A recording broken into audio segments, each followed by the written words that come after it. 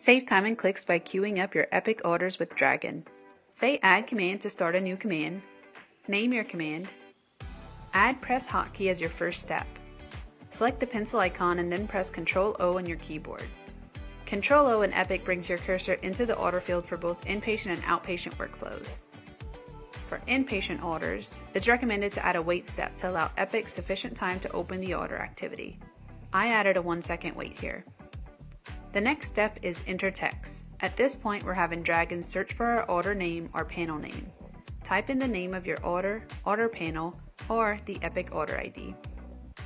The next step is a press hotkey of enter.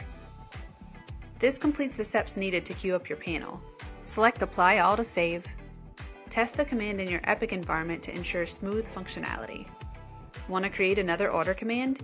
It's easy. Simply find the command you just built, select the copy icon, name your new command, then update the enter text step as needed.